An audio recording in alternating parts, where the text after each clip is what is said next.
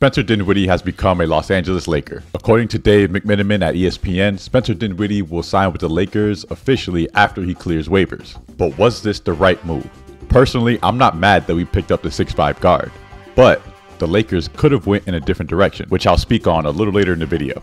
So far this season, Spencer is averaging 12 points, 3 rebounds, and 6 assists, while shooting only 39% from the field and 32% from 3. While these numbers aren't too impressive, we've all seen what Spencer Dinwiddie is capable of. He's a fairly athletic guard that's an explosive scorer and can score at all three levels. That being said, I'm a little nervous because we all know that when players sign with the Lakers, for whatever reason, their numbers start to decline. So, who could the Lakers have gone with?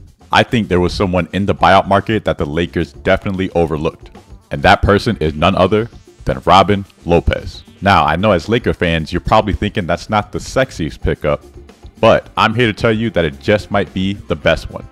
And here's why. My logic is telling me that if we are going to go further this year than we did last year, we need someone who's going to body up with Nikola Jokic. And to this day, the Lakers still don't have a true big body center. Robin Lopez is a legit 7 foot 1, 280 pounds. Every team he's been on raves about his work ethic, how he's an awesome locker room guy, and provides great veteran leadership. We all know how much of a dog he is, and he's not going to back down from any challenge.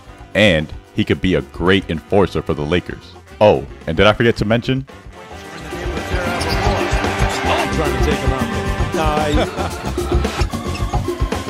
Robin Lopez, yes. Let me know what you think in the comments about the Lakers and the current buyout market. And if you enjoyed this video, make sure to check out this next one on your screen right now. And don't forget to subscribe for more.